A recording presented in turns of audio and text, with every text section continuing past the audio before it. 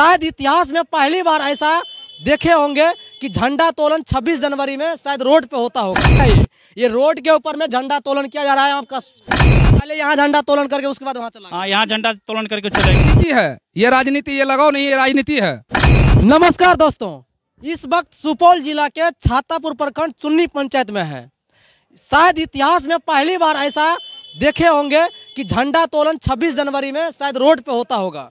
हाँ हम आज सही कह रहे हैं। ये भीड़ जो यहाँ पे ग्रामीणों को देख रहे हैं ये कोई आ, मतलब जो वर्तमान सरपंच जो कि अपना कार्यालय में छोड़ करके रोड पे झंडा तोलन कर रहे हैं। यहाँ पे कुछ ग्रामीण है और यहाँ पे वर्तमान सरपंच भी है इनसे पूछना की पूछने की कोशिश करेंगे आखिर वजह क्या है? ये रोड पे झंडा तोलन कर रहे हैं। आइए कैमरामैन बोलेंगे आइए। अच्छा सरपंच साहब आप क्यों रोड पे झंडा तोलन कर रहे हैं? चुन्नी पंचायत में दो पंचायत भवन है। एक में मुखिया जी का कार्यालय वार्ड नंबर पाँच में चल रहा है। दूसरा वार्ड नंबर चौदह है। यहाँ कार्यालय मेरा चल रहा था। वाई जबरन झंडा यहाँ आके मुखिया जी फहरा के चले गए हैं। अच्छा। तो आप इसके लिए मतलब जो कि पहले से आपको सूचित किया गया था कि मतलब सूचना दिया गया था कि सूचना क्या देगा? यहाँ मेरा कार्यालय था तो यहाँ तो मेरा फ़र्ज़ बनता है फहराना। इसमें सूचना हमको कौन देगा? वैसे हम सरपंच है हमको सूचना देने वाला कौन होता है? पीछे देख सकते हैं कार्यालय इसी का है जो कार्यालय में कचहरी लगाते हैं। आप सब आप हमेशा यहीं हाँ विधिवत यहाँ पर हम कचहरी लगाते हैं। हाँ।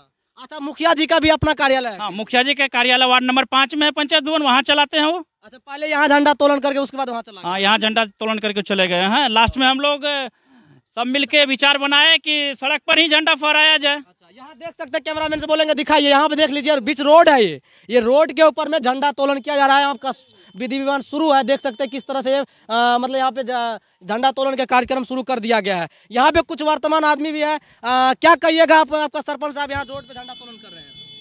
हम क्या कहेंगे? आपको मतलब ये चीज़ आपको कैसा लग रहा है देख करके? ये तो बहुत खराब लग रहा है ऐसा नहीं क्या जी जो किया है सही क्या गलत किया है? गलत किया ये तो गलत किया है। एक एकदम गलत किया है मुखिया जी। किया है। एकदम गलत। आपका आपका सरपंच का कार्यालय कौन सा है?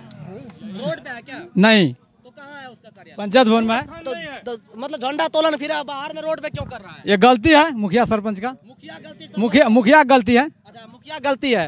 तो उसका मतलब जगह नहीं दिया गया इसलिए रोड पे है। हाँ इसलिए रोड कहिएगा आपका सरपंच साहब रोड पे झंडा तोलन कर रहे हैं। अरे तो रोड पर बन रहा है। रोड पर झंडा तोलन हो रहा है। तो आप इसके लिए मतलब सर फिर आप क्या कहिएगा? कहीं नहीं जगह है सरपंच साहब का कहीं जगह ना है। इसीलिए रोड पे कर रहा है। हाँ इसलिए कर रहा है। तो ये किसमें गलती किसको मान रहे हैं आप? गलती किसको मान रहे हैं? जो पहले फहरा के गया झंडा फहरा के गिर गया है वही। गया रोड पहले उसके कार्यालय में सरपंच हाँ उसी का गलती है। दोनों मिल के झंडा फहराना चाहिए। दोनों रोड मिल करके। हाँ। क्या बोलिएगा आपका सरपंच साहब के बारे में रोड नहीं सरपंच साहब का यहीं पे कार्य चल रहा था। हाँ। यहीं पे झंडा फहराना चाहिए। वहाँ फहराना चाहिए। जी। वजह क्यों हुआ रोड पे फहरा रहा है? उसमें मुखिया जी फहरा के चले गए इसलिए यहाँ पे फहरा गया। तो इसमें गलती किसको मान रहे हैं अब गलती तो मुखिया जी का मान रहे हैं हम। हाँ। क्या आप क्या कहिएगा? आपका सरपंच साहब रोड पे झंडा तोलन कर रहा है। नहीं ये तो गलत है। अच्छा गलत है। हाँ गलत है। शायद इतिहास में पहली बार ऐसा हो रहा होगा किसी नेता लोग रोड पे झंडा तोलन कर रहा होगा। ऐसा नहीं होना चाहिए। आज कहीं ना कहीं सरपंच साहब को जिस प्रकार से रोड पे आ चुका है आ, ये कहीं ना कहीं गलत है। क्या बोलिएगा? आपका गलत है गलत है सर। क्या बोलिएगा आप? गलत है। क्या बोलिएगा गलत है। क्या बोलिएगा हाँ गलत है ये। इसको देखने के लिए कोई सरपंच साहब जैसे कि आप इसको देखने के लिए कौन आएगा? प्रशासन आएगा? हम कहते हैं, इस पे जाँच का विषय है, आखिर क्यों रोड पे आ चुके हैं सरपंच साहब झंडा तोलन करने के लिए? आखिर उसका कार्यालय क्यों नहीं है? आखिर उसका झंडा तोलन करने वाला जगह क्यों नहीं है? आखिर वजह क्या हुआ? जो सरपंच साहब का रोड पे आकर के झंडा तोलन करना पड़ रहा है। देख सकते हैं, ये रोड है, बीच रोड पे दोनों का से जाम कर दिया गया है। उसके बाद झंडा तोलन कर रहे हैं ये सरपंच साहब, देख सकते हैं। यहाँ पे कुछ उसके साथ में कार्यकर्ते भी हैं और यहाँ वर्तमान ग्रामीण भी है। क्या बोलिएगा आपका सरपंच? ये तो बहुत गलत हो रहा है। हम वार्ड नंबर वार्ड नंबर पंद्रह का वार्ड पंच है जो हम लोग का कहीं स्थान नहीं मिल रहा है। तो इसके वजह से जो मुखिया जी झंडा तोलन करके चले गए उसकी वजह से हम लोग जगह नहीं मिलने पे हम लोग रोड पे झंडा तोलन आ, क्या बोलिएगा आप लोग झंडा तोलन रोड पे कर रहे हैं? क्या करेंगे हम तो यही चाहेंगे जो हमारे सरपंच साहब को मिले स्थान और हम लोग रोड पे नहीं आएँगे। हम पंच है वार्ड नंबर पाँच का। जहाँ तक कि अगर दो चुनी पंचायत में दो पंचायत भवन है तो एक मुखिया जी बोला यहाँ पे कचहरी आप चला लीजिए हम वहाँ पे अपना पंचायत चला लेंगे। ठीक? हमारा सभी वार्ड पंच भी हम लोग यहीं पे आकर के कचहरी चला रहे थे। आप ग्रामीण से भी पूछ सकते हैं। ये आप लोग रोड पे वजह क्या हुआ वजह यही हुआ मुखिया जी ज़बरदस्ती आकर के यहाँ पे झंडा तुलन किया और हम लोग रोड पे आ गए। अच्छा इसीलिए आप रोड को मतलब रोड पे। कर रहे हैं। क्या बोलिएगा? आप भी रोड पे आ चुके हैं। क्या बोलिएगा इसके लिए? हम लोग क्या बोलेंगे? हम लोग तो ग्राम कचहरी आज छः महीने से सुचारू रूप- से चला रहे थे। ग्राम कचहरी में आकर के आज मुखिया जी अपने से झंडा तोलन किए तो हम लोग को मजबूरी बस रोड पे करना पड़ रहा है। अच्छा ये दिल से कर रहे हैं कि मतलब मतलब- हम लोग हम लोग रो के कर रहे हैं तो हम लोग दिल से मतलब रोड पे झंडा तोलन करेंगे। हम लोग का कार्यालय अगर नहीं रहेगा तब इसको हम क्या समझे? दिल दिल का भावना एक मतलब झंडा से दिल का लगाओ या कि राजनीति नहीं, आपके दिल में क्या चल रहा है? राजनीति चल रहा है। मेरे दिल में तो देश के प्रति प्रेम चल रहा है बस इसी वजह से हम लोग रोड पे भी करने के लिए तैयार है। कहीं ना कहीं ये दिल देश के लिए जो दिल में प्यार होता है, इसीलिए झंडा तोलन आखिर कहीं ना कहीं रोड पे ही करना पड़ रहा है, लेकिन कर रहा है। कहीं ना कहीं यहाँ पे राजनीति भी उभर के निकल के दिखने, दिखना आ, दिखा दिखा रहे हैं, क्योंकि मान के चलिए, अगर सर अगर चाहते तो मतलब जो कि मुखिया साहब तो अपना कार्यालय में कहीं ना कहीं चीज़ को कर लेते। यहाँ पे आकर नहीं करते। क्यों नहीं क्यों, क्योंकि वो सोच रहा है, कहीं ना कहीं ये गलत है आपसी विवाद को लेकर के ऐसा कर रहे हैं ये लोग। कहीं ना कहीं गलत है। इसके बारे में आप लोग क्या बोलिएगा? और कुछ यहाँ पे ग्रामीण और भी है। क्या आपका सरपंच साहब जो कर रहा है गलत कर रहा है मतलब सही कर रहा है बताइए। गलत क्या बोलिएगा? अब मुखिया साहब जो जिस प्रकार से किए हैं यहाँ आकर के झंडा तोलन किया वो गलत किया सही किया है?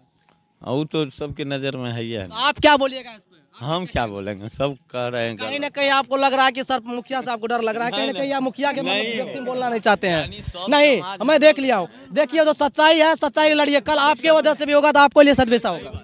क्या बोलिएगा आपका सरपंच ये तो गलत है गलत है। अच्छा क्या कैसे आपको गलत लग रहा है? पहले इसको खुल के बताइए। जैसे पंचायत भवन दो को है ना पाँच नंबर में भी है चौदह में भी है। हाँ। तो पाँच नंबर तो वहाँ मुखिया का कार्यालय सदा से चल रहा है। यहाँ तो कचहरी छः महीना से सरपंच साहब लाए हैं। लेकिन यहाँ पर सरपंच साहब का दायित्व बनता है तो यहाँ पर झंडा तोलन करते हो। अच्छा कुछ यहाँ पे ग्रामीण भी मतलब बोलना नहीं चाहते मुखिया के पक्ष में। कहीं ना कहीं उसको क्या है कि बोलने नहीं चाहता है? मतलब इसलिए कि उसको इंदिरा आवास नहीं मिलेगा पुरानवास नहीं मिलेगा लेटरिन रूम नहीं मिलेगा या उसका मतलब जो है और भी का मतलब जो कि अथी लाभ नहीं मिलेगा इसीलिए हैं ना ऐसा बात कोई बात नहीं है।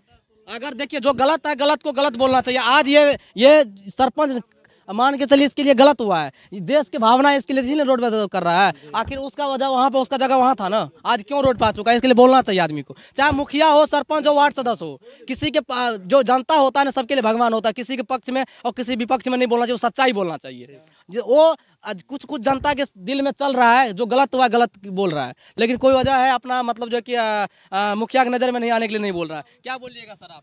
इसमें मुखिया जी को सम्मिलित करना चाहिए सरपंच साहब को लेकर ही झंडा फहराना चाहिए। अच्छा, सम्मिलित का वजह क्या होता है? अगर आपके पास एक गो कार्यालय होगा तभी आप सम्मिलित कर सकते हैं। हाँ। आपके अगर दो कार्यालय है मुखिया का अलग है और सरपंच का अलग है तो अपना कार्यालय में आप झंडा फहराइए और सरपंच अपना कार्यालय में अपना फहराएगा। तो तो- सम्मिलित की क्या वजह वो तो होना चाहिए।